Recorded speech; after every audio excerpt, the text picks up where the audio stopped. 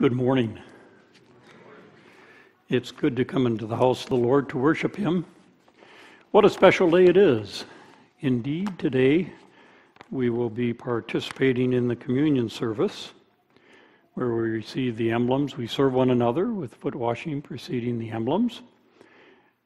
And following that, not only will worship together, we'll have the joy of fellowshipping around the table following that for a friendship potluck lunch in our Christian Life Center.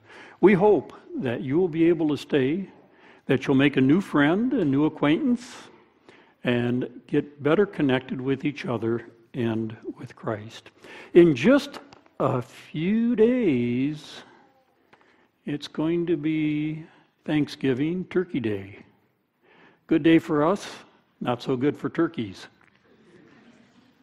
A couple of quick, quick statistics. On that day, 200 or um, the number of turkeys that were raised in one recent year was 242 million. 2.4 billion pounds of sweet potatoes. 1.1 billion is the number of pumpkins that were grown in one year. The largest pumpkin pie, the largest. Now, ladies, you make some fantastic pies, but not to this size and scope. 3,699 pounds required 187 pounds of pumpkins, 233 dozen eggs, 109 gallons of evaporated milk, 525 pounds of sugar, 700 pounds of sh- uh, 7 pounds of salt, 14.5 pounds of cinnamon, 15 million people. The question that I had is, how did they bake it? It's just one of those uh, phenomena. They must have put a tent over it or something. 15 million people will plan out a dining at restaurants. 14 million will uh, have takeout orders, and 4 million um, who have planned and ordered their entire turkey dinner to be delivered at their house. I don't know what your Thanksgiving plans are like. But this morning, as we gather together, we have a lot to be thankful for, don't we? So I'm going to encourage you to take out your bulletins and grab one of the bulletin inserts. There's a white one from the uh, um, from the wonderful Christmas boutique. It's white. On the back side of that, it's blank. So I want you to write one, two, and three at least. You can add more. Want to turn our minds and thoughts to the things that we have reason to be thankful for. So I'm going to give you my top 10, and I'm going to do it in summary fashion. I wrote four different sermons this week, and I set them aside, and God just said, share with, share with them the things that you are thankful for, that they might be able to create a list of things that they are thankful for. So as they sit around that Thanksgiving table, they might take a few moments to share with one another the things that they are thankful for. The first thing that I'm thankful for, the very first thing at the top of my list, is people. People. People are wonderful. People are wonderful to have in your life, both in the times when things are going well and sometimes where there, uh, there's a little friction. But people.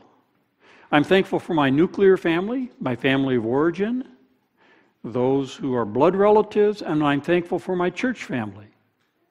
Because it's through those two sets of family that um, I live, that I make friends. I'm thankful for people, family, friends, current friends, old friends, mentors.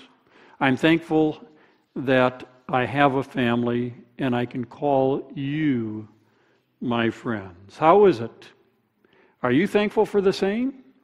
Think in terms of what you're thankful for, the top two or three. I'm thankful for the hope that we have in Christ, the hope that is displayed in every sunrise as darkness turns to light.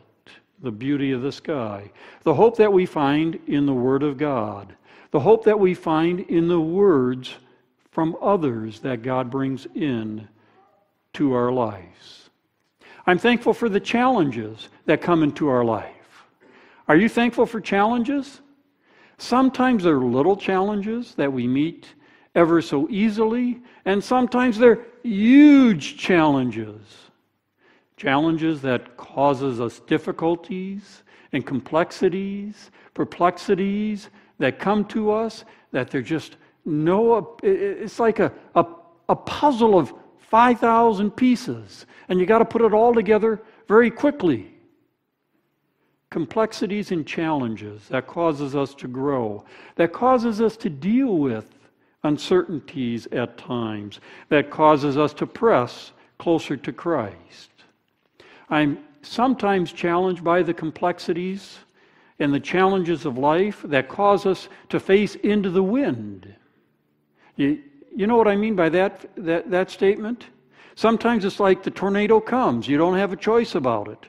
The wind is coming at your face. You'd rather have the wind at your back.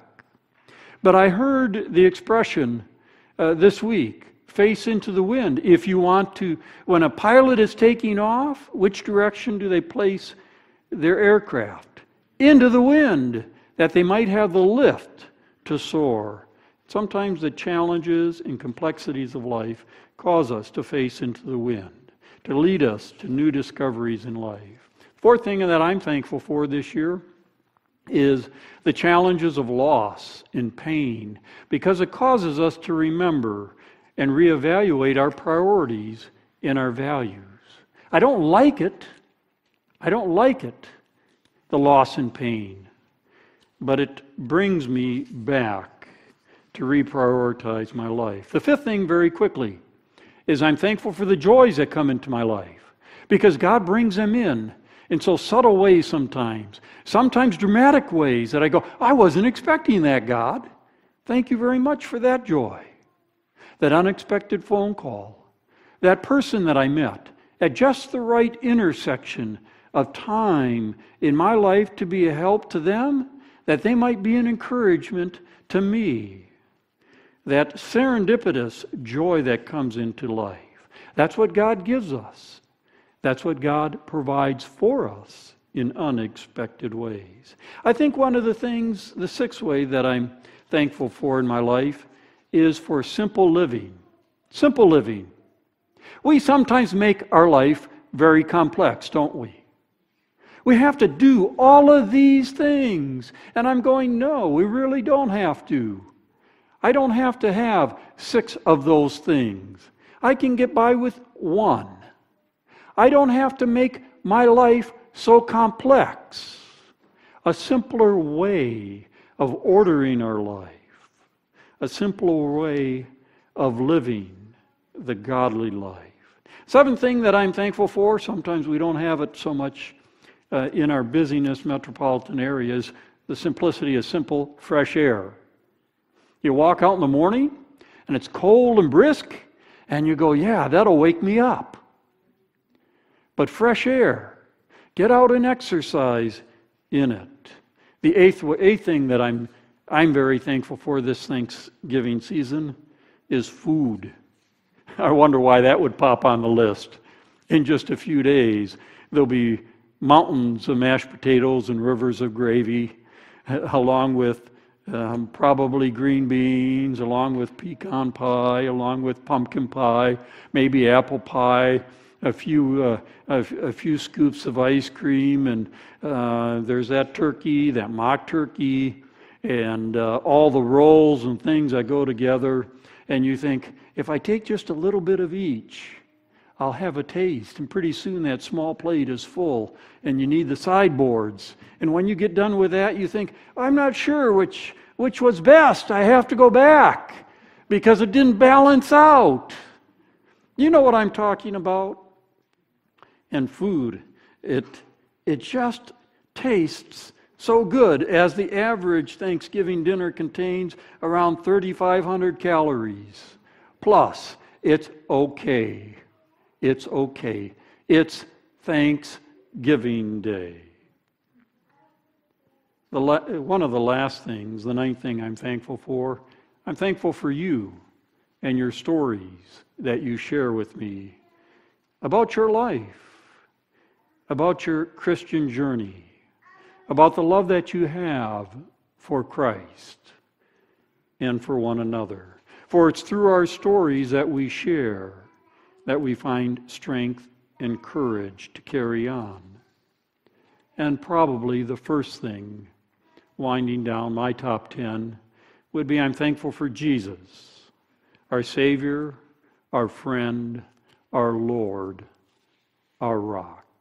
How are things in your life during this season of year? Does it cause you to think about what you are thankful for? I would challenge you before you partake, before you have grace and partake of those mashed potatoes and that turkey, to share around the table the things that you are thankful for. But our message today is thanksgiving, isn't it? For you see, you have a lot of things to be thankful for. But thanks is not enough unless it leads to what?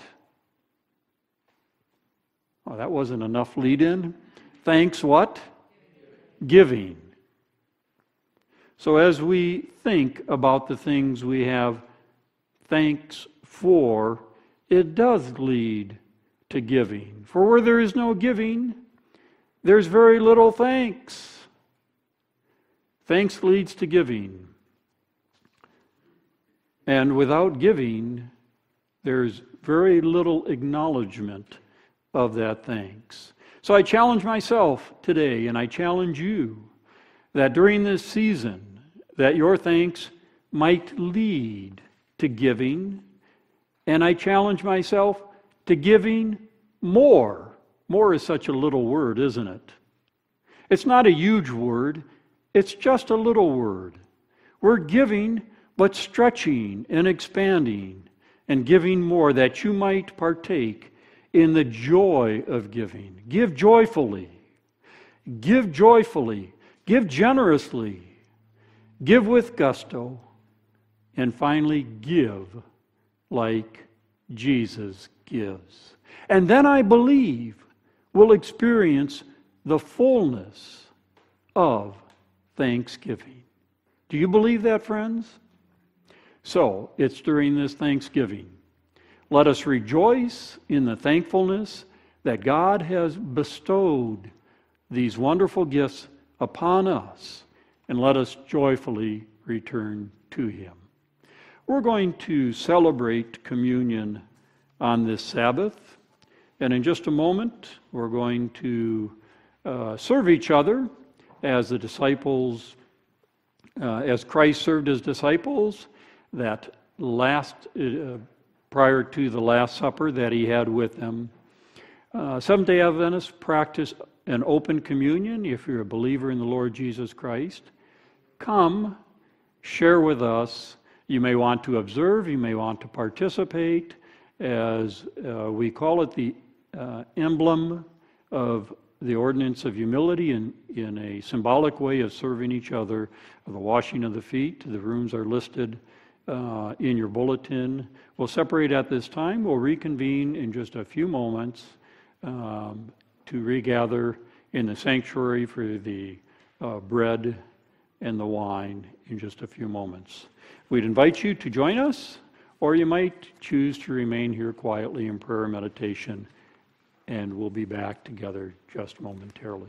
May God bless us as we partake, as we partake and serve each other, not partake of each other, but as we serve each other, and we reconvene in just a few moments.